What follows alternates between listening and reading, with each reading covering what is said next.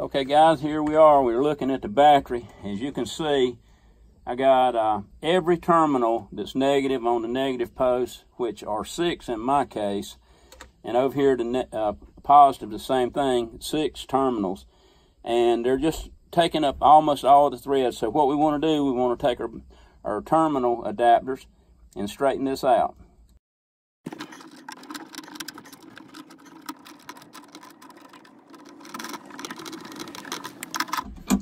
There we are, guys. That's how quick it is, how easy it is.